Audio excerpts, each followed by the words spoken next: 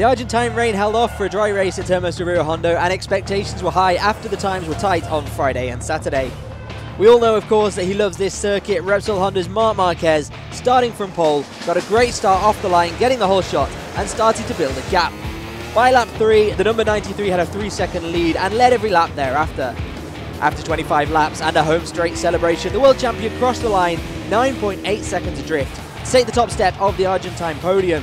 Three wins out of six at Termas de Rio Hondo, and he now leads the 2019 championship standings. The battle for the podium was on then, led by Monster Energy Yamaha's Valentino Rossi and Michelin Ducati's Andrea Dovizioso. But there were a series of riders hot on their tail. Petronas Yamaha SRT rider Franco Morbidelli, who made contact with fellow Italian Danilo Petrucci on the first lap, was at the sharp end, hot on the tail of his mentor.